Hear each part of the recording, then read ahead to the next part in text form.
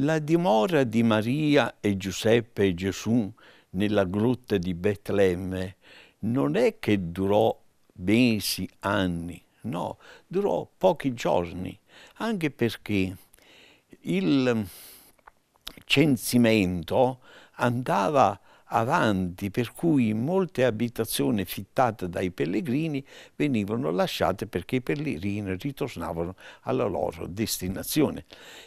In questo caso Giuseppe, Maria e Gesù prendono alloggio non più nella grotta, ma in Betlemme, in una casa di Betlemme.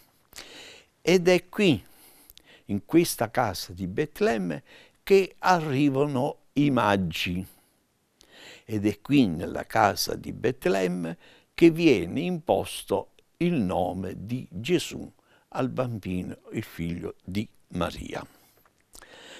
La legge mosaica prescriveva che 40 giorni dopo la nascita del primo figlio, i genitori si recassero al Tempio di Gerusalemme per offrire il loro primogenito al Signore e per la purificazione della madre. Il rito compiuto su Gesù non ha questa prerogativa. Perché? Quando una famiglia riceveva il primo figlio, andava al Tempio di Gerusalemme e offriva il bambino a Dio Dio ha donato, ma viene fatta l'offerta a Dio. Nel caso di Gesù è Dio che presenta Gesù agli uomini. E di fatti lì nella, nel Tempio di Gerusalemme ci sta il vecchio Simeone e la profetessa Anna perché si trovano? Si trovano perché erano persone di, del Tempio, che passavano molte ore nella preghiera al Tempio e anche per ispirazione del Signore si trovano lì.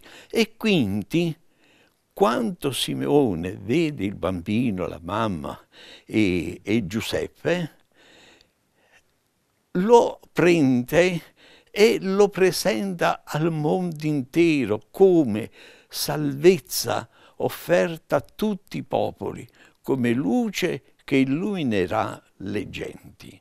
Ecco quindi allora il primo gesto ufficiale della presentazione di Gesù l'abbiamo nel Tempio, proprio dalle mani del vecchio Simone.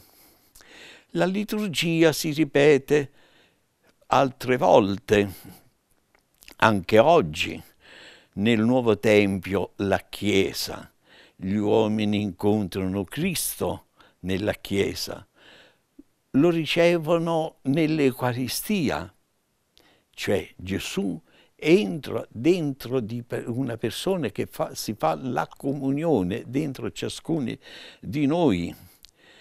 La parola diventa nostro nutrimento. Allora, mentre per Gesù vi è stata solo quella cerimonia, per noi comincia col battesimo e si prolunga per la nostra vita ogni volta che andiamo in chiesa ci cibiamo dell'Eucaristia. Quindi Gesù diventa nostra carne, nostro sangue. Poi ascoltiamo la parola del, del, della Bibbia, del Vangelo e se stiamo attenti, come dobbiamo essere attenti, questa parola entra dentro di noi e diventa carne, cioè la parola ci dice amatevi gli umili altri come io ho amato voi, noi la facciamo carne e amiamo gli altri, allora praticamente Gesù che viene dentro di noi diventa carne e continua il suo miracolo dell'amore fraterno. Oggi è la festa della cantelora, la festa della, della candela.